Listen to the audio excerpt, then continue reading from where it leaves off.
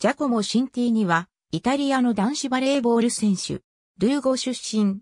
ポジションはセッター。イタリア代表。地元のラベンナにあるユースチームから1998年セリエ Aラベンナへ入団。フォルリを経て2001年にトレビーゾへ移籍。イタリア代表に選出され、同年11月24日、フェラーラで行われた試合で代表デビューを飾った。2002年、A1 へ昇格したペルージャ移籍。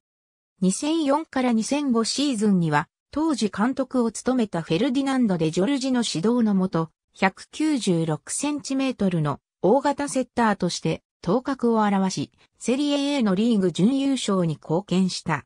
イタリア代表、バレリオ・ベルミリオの控えセッターとして出場した2005年、欧州選手権では優勝を経験。